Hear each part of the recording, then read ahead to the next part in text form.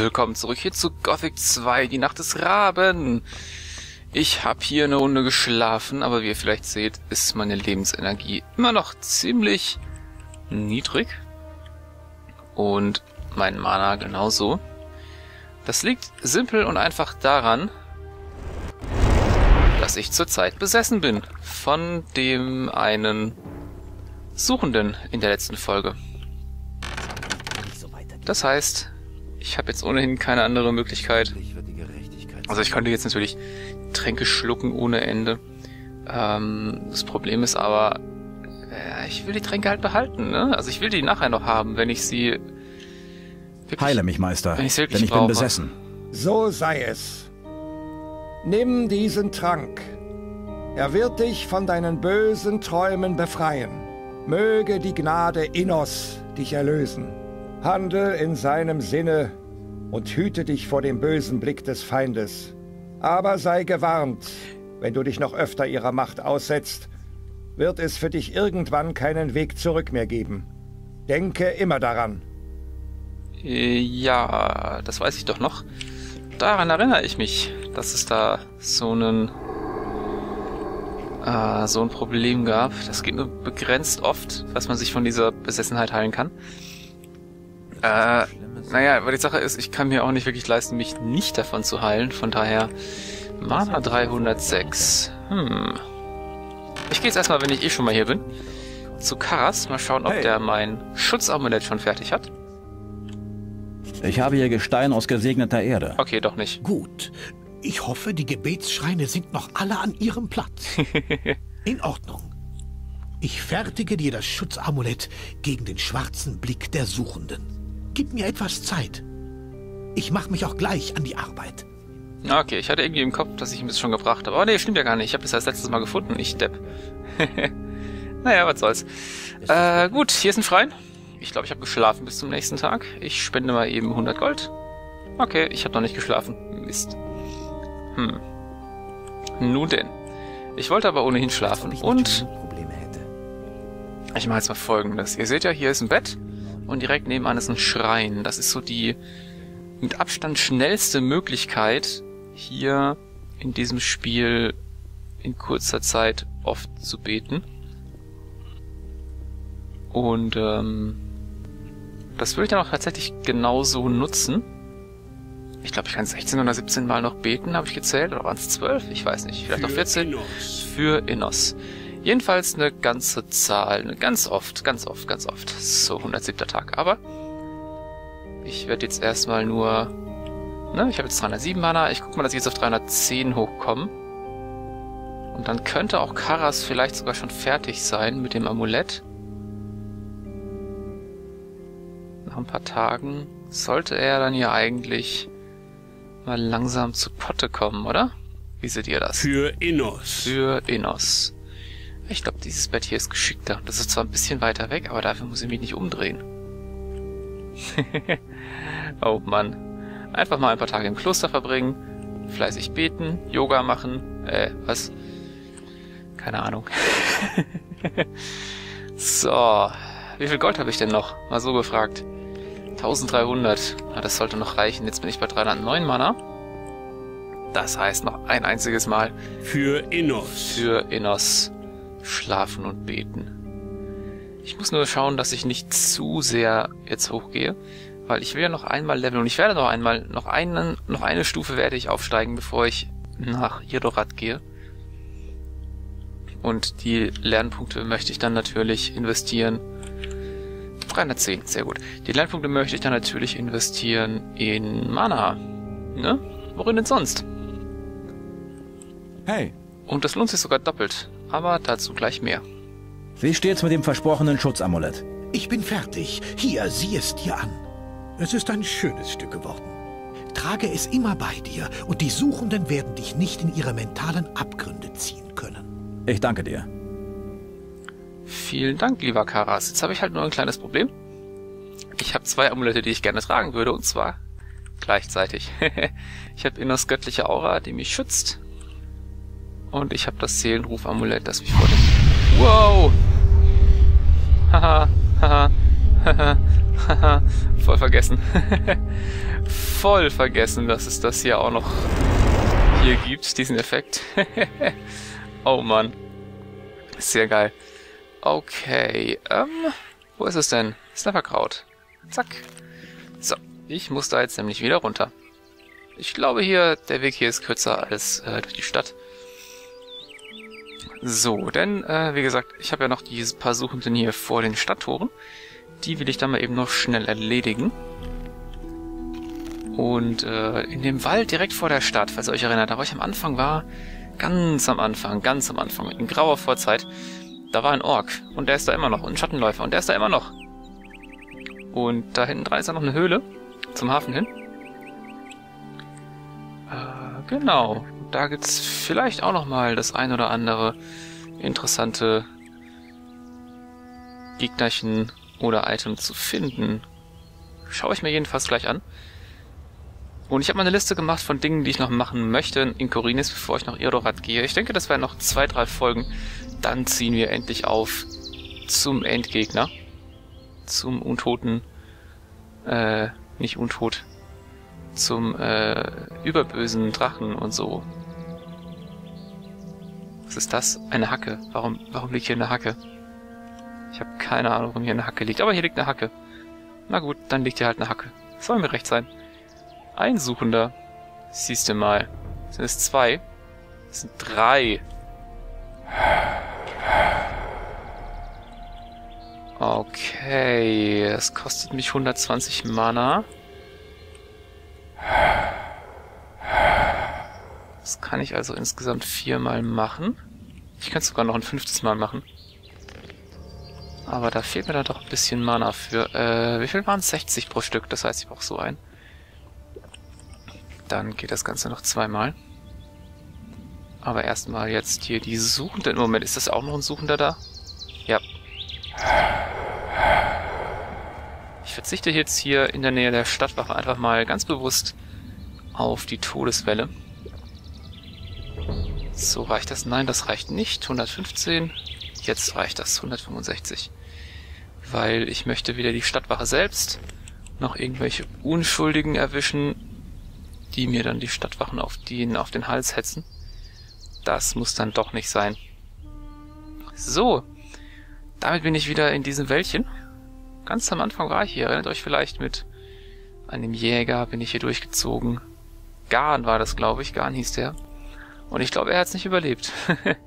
Wenn ich mich recht erinnere, hat er es nicht überlebt. Das war ein bisschen traurig. Ups. Das ist dämlich. Das bringt nämlich nichts. Und wenn ich mir überlege, dass ich heute im reinen Nahkampf ohne Magieunterstützung und ganz alleine gegen den Schattenläufer ankomme, ich sagen, damals, als ich zuletzt hier war, hätte ich das ja nicht so gedacht. Ah, das war dämlich. Ich wollte den Mana-Trank trinken. Ach Mist. Okay, merke. Bei zukünftigen Begegnungen mit Suchenden sollte ich wieder Abstand halten. Oder mein Schutzamulett tragen. Wer kommt da? Ach, der Ork. Siehst du mal, der Ork vom Anfang. Hallo, wie geht's dir? Ich hab dich so lang verschont. Hast du mich vermisst? Hallo, hast du mich vermisst? Antworte. Ah, okay, er kann nicht mehr reden.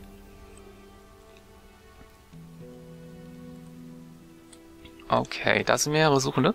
Dann probiere ich hier doch gleich mal das Amulett aus. Das Seelenruf. Moment, habe ich genug? Nein, ich brauche 300 Mana. Das heißt, ich brauche nochmal drei davon. Und dann reicht sowieso nicht, um danach noch irgendwas anderes zu zaubern. Von daher kann ich mir das mehr an Mana auch sparen. So, da bin ich nah genug dran. Eins, zwei, drei. Sehr gut. Ich bin nur froh, dass die Suchenden hier keinen Eisblock können. Das wäre sehr ätzend, muss ich sagen. Okay, die Truhe habe ich durchsucht. Da waren ganz am Anfang, als ich hier war, irgendwelche Goblins. Steckt hier eine Axt im Boden? Ich das gerade richtig gesehen. Hä? Bin ich denn gerade rumgelaufen? Ich bin gerade hier rumgelaufen. Habe ich da rechts irgendwas im Boden gesehen? Keine Ahnung. Was mir da meine Wahrnehmung für einen Streich gespielt hat. Wie dem auch sei. Ein Suchender. Den ich ausnehme. 100... 105. Ach so, haha, richtig. Todeswelle kostet ja 150. Ich depp. Nicht 300. 300 für zwei. Ja, natürlich. Naja, auch gut. Kann ich immerhin zweimal zaubern. Hat auch was. So, wie gesagt, hier bin ich am Anfang über die Hafenauer geklettert und da weiter hinten ist ja noch eine Höhle. Da waren früher irgendwelche Banditen drin, wenn ich mich recht erinnere. Und äh, ich glaube, es lohnt sich jetzt auch nochmal dahin zu gehen. Ach ja, genau. Ähm, ich werde nochmal leveln, wie gesagt. Unter anderem hier kriege ich Erfahrung. Äh, 120, 240. Hm, ich überlege gerade. Schon bei zwei lohnt sich eigentlich das Massensterben.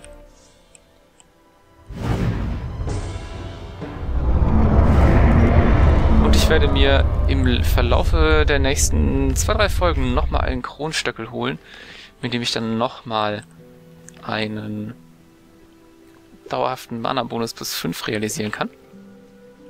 Den gibt es in der Höhle mit den, äh, in der Krypta bei, bei dem äh, Söldner, Bau, Söldnerlager.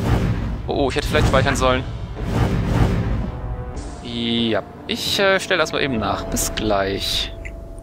So, da bin ich wieder. Ich habe hier hinten bei im Wäldchen bei den Suchenden diesmal ziemlich viel eingesteckt. Deswegen habe ich relativ viele Tränke hier getrunken und davor so ziemlich alles, was ich dabei hatte, gegessen. Das heißt, der Käse ist weg, das Bier ist weg. Wow, das Butlerfleisch ist weg. Könnt ihr bitte einfach umfallen? Dankeschön. Ach ja, richtig, die beiden hatte ich ja schon mal erledigt. Ähm, naja, egal. Gut, dann werde ich hier nochmal nicht heilen müssen. Was soll's. 54, 790 macht 340. Das heißt hier 140. Und dann nochmal 4 davon. Und dann sollte ich exakt geheilt sein. Und um sicher zu gehen, falls ich da drin doch noch ein bisschen mehr zaubern muss als gedacht, mache ich auch mein Mana voll. So, und speichere nochmal auf die 560. Das 560. Mal seit dem Anbeginn der Zeit. Nein, seit dem Beginn des Spiels. So, hier drin sind Suchende. Nämlich drei, drei Stück und ich habe irgendwie das Gefühl wieder, ich sollte hier hinten zaubern.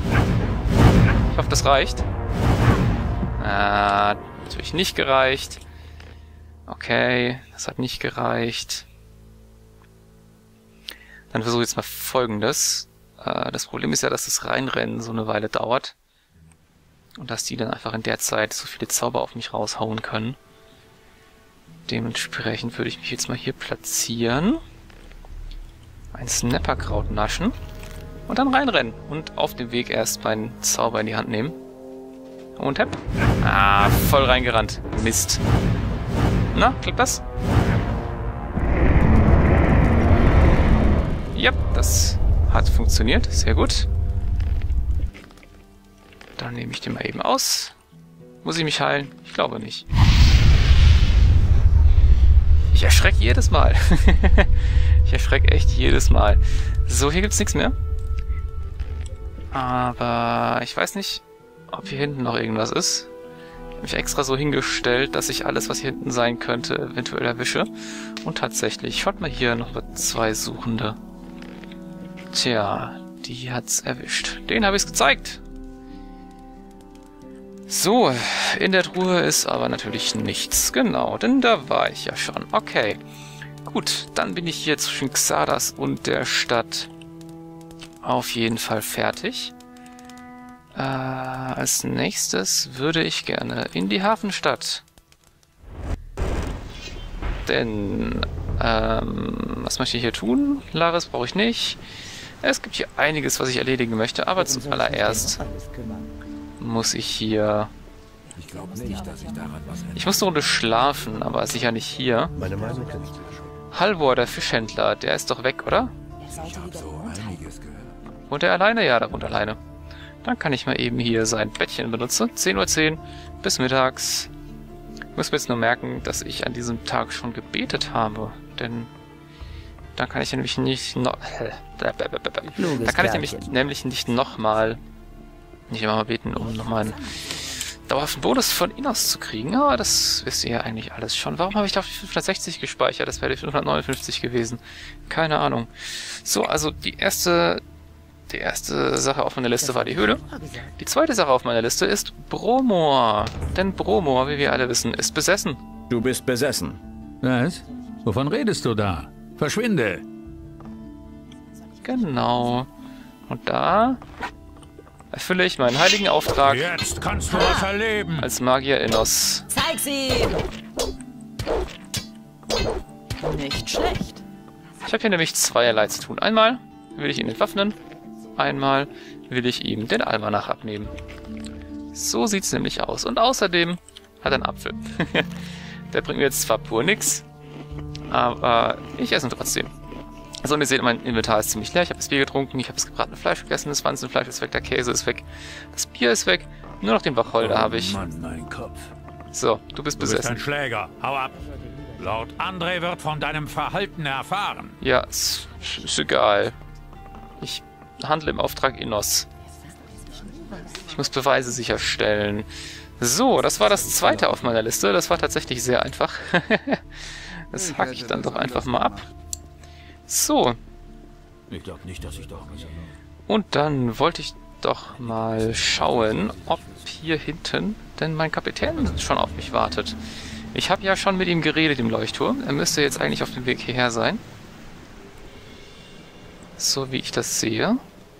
Ich würde einfach mal gerne checken, ob hier alles in Ordnung ist, ne? So. Gordon, Mario, Diego.